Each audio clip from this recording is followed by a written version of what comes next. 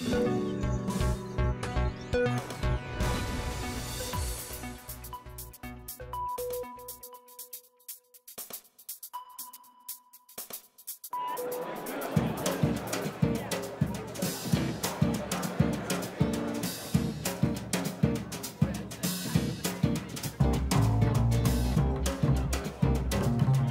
Van harte welkom in ons provinciehuis. Slimme zorg is eh, voortgekomen uit het besef wat, eh, wat ik had aan het begin van deze bestuursperiode.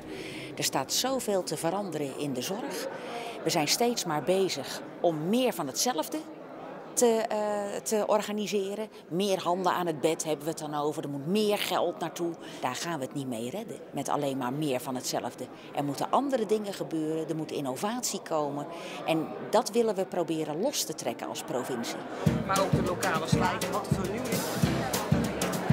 We hebben de afgelopen jaren gebouwd aan netwerken die echt met elkaar hun kennis willen delen. En dat is behoorlijk uniek dat dat lukt. Want het zijn mensen uit heel verschillende sectoren: bedrijfsleven, zorginstellingen, onderwijs, organisaties van eindgebruikers, van zorgvragers.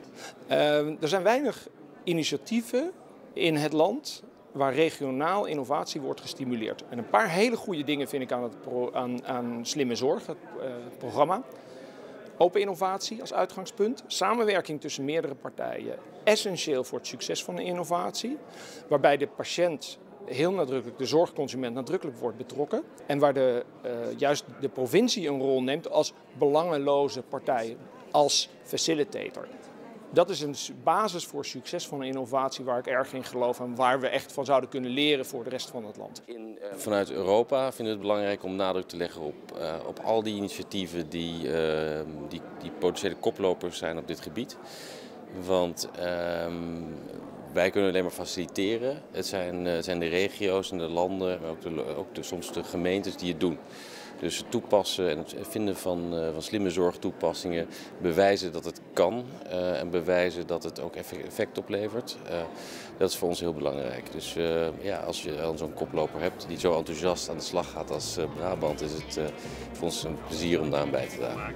Is, er moet diversiteit zijn om überhaupt innovatie tot stand te brengen. Doordat het provinciaal aangepakt wordt, leer je elkaar kennen. Kijk op zo'n markt ontstaat echt een leuk communitygevoel.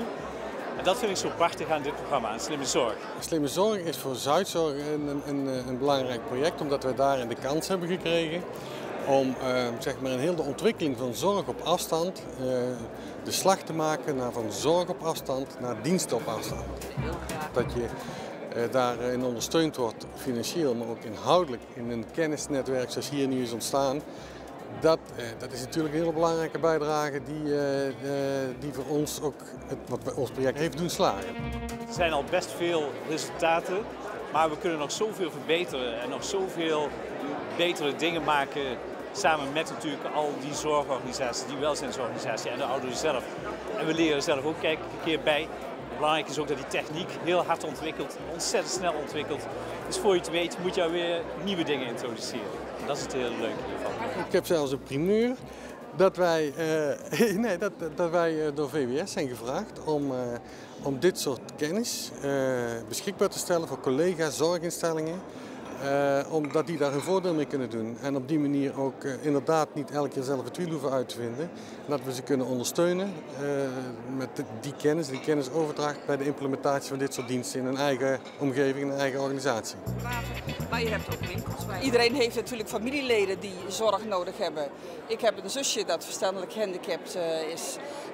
en ouders die inmiddels wat ouder worden. En ik merk hoe belangrijk het is om, dat zij goed verzorgd worden. En dat, ja, dat is natuurlijk ook een persoonlijke motivatie, denk ik, om daarmee bezig te zijn. Bijvoorbeeld dat we ergens uh, een, uh, een, uh, een, oudere dame hebben die aangesloten is op Brabant Connect. Heeft een dochter in Nieuw-Zeeland, een zoon in Canada. Kleinzoon loopt stage in China en heeft nu dagelijks contact. Nou, hoeft niet iedereen zijn familie zo ver te hebben. Maar het geeft dus echt een enorme meerwaarde. Ik denk dat het een grote uitdaging wordt om uh, ICT te verankeren in diensten die de patiënt echt uh, baten brengt. En op een manier dat het uh, door, de, door de, de zorgverzekeraars betaald kan worden of door anderen. Dat we de juiste betaalmodellen vinden, denk ik dat dat heel belangrijk is. En dat de zorgaanbieders, ook de, de, de medici, deze uitdaging aangaan. Dus ik hoop ook dat na dit jaar dat de provincie deze rol en dat netwerk wat gecreëerd is tussen verschillende partijen in stand weet te houden om die innovatiemotor op gang te houden. Dat is op zich al een hele eye-opener. Ja, is, is zoveel grondhouding hebben van we willen wat samen. Dat jullie. Ik heb alle vertrouwen in de nu nog jonge, maar straks ouderen van de toekomst. Want die zijn zoveel gewend aan aanpassingen, aan, aan flexibiliteit. Die hebben zoveel meegemaakt in hun leven. Van het televisieloze tijdperk tot eh, de, de iPad nu. Ik denk, die kunnen met ICT heel veel. En die kunnen zichzelf nu dat allemaal goed gewend maken om straks daar alle gemak en comfort van te hebben.